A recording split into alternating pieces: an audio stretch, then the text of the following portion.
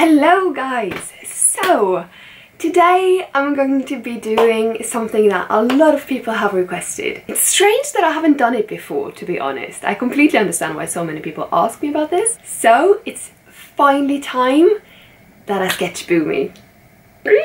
I have a live dog in my apartment at all times. Why don't I sketch him more often? He's a beauty. He's the most handsome dog I've ever seen and he knows it. Today I'm going to be sketching him and at the end I'm hoping I'll be able to do some kind of, not character design, but a proper portrait of Bhoomi. So yeah, let's see if I can actually get him to pose for me now that I'm actually asking him to.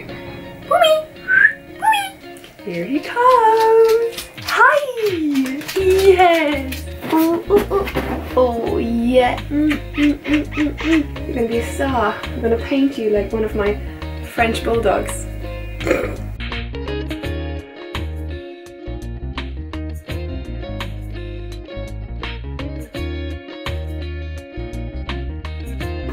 So as you can see from the video, Bhoomi is a very very snuggly dog and whenever I sit on the floor means that he's going to be in my lap within 3 seconds.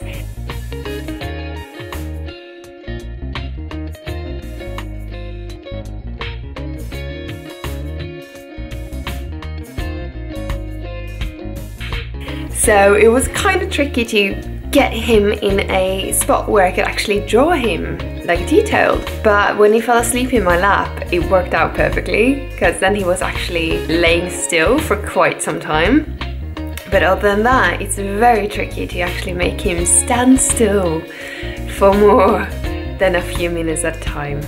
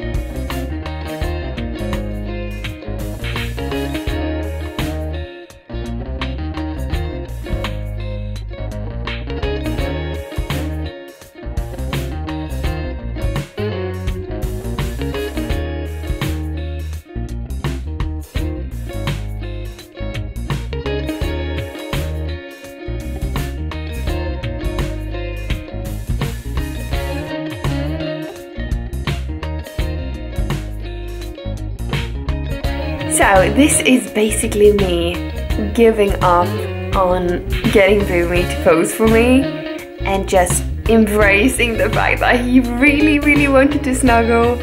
And I'm sorry this is a long sequence with me and Bhoomi just being freaking adorable. I'm not ashamed of it. Look at us. Look at us being so cute. Come on. Who cannot melt uh, just, oh, he's, look at that fluffy chest. Oh my gosh. No, I love this dog. Sorry. Sorry, not sorry.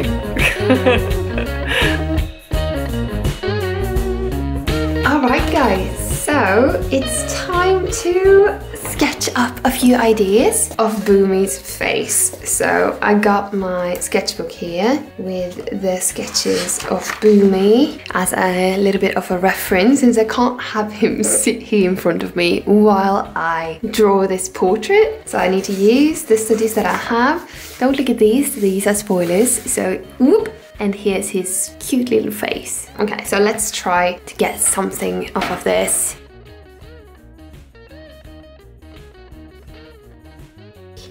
So I'm going to use this sketch, transfer it to another paper with my light table and then I'm going to try to, um, I'm not going to use watercolor this time because I really enjoyed using this kind of um, cross-hatching, or not cross-hatching, but lines for fur. So I really want to try to use that in a bigger piece. I might use watercolor for the scarf and the hat, but I think I'm going to try to keep it a little bit more to this kind of style. I'm gonna get this ready for us.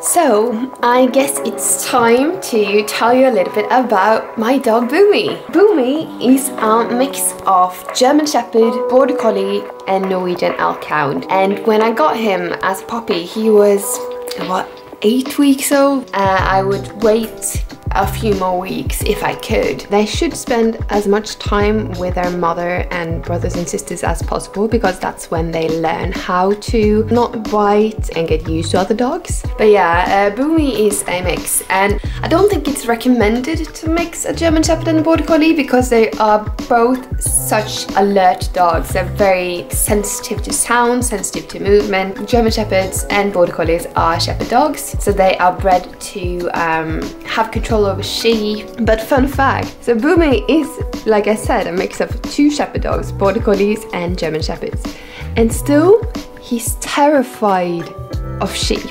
And up in the mountains there, Bergen, there are herds of sheep wandering around in springtime. And if he sees them close to the road, I have to turn around. He refuses to get close to them.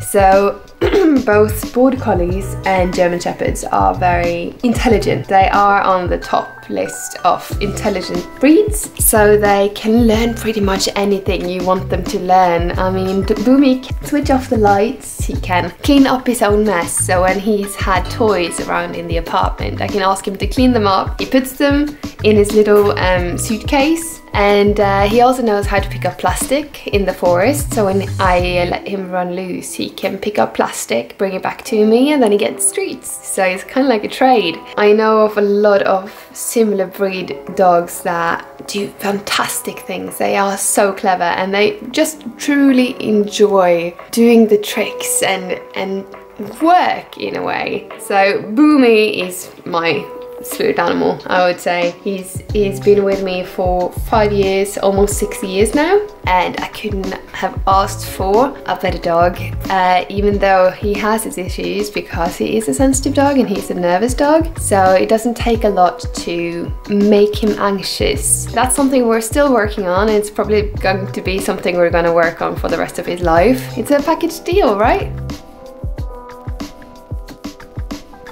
Uh, another funny thing about Bhoomi is that he prefers cats over dogs. Since he is a bit scared of other dogs, he was attacked when he was a puppy twice, was very unlucky. After that, he's been very, very anxious about other dogs. But with cats, cats instantly calm him down. He can be super stressed and then when he sees a cat, he lays down and he waits because he knows that cats are scared of dogs. And the funny thing is, in our neighborhood, there's probably like seven cats just in our street. And five of them have started to just roam around in the garden outside. And sometimes it seems like they are waiting outside the door for Bhoomi to come out because they, they have like connected in a way. So two of the cats now dare to walk all the way up to Bhoomi and like touch snout. and it's so cute and um, it's so strange to see Bhoomi be so calm and content with cats. I've wanted a cat for a long time so don't be surprised if in the future you see Bhoomi and me with a bunch of cats.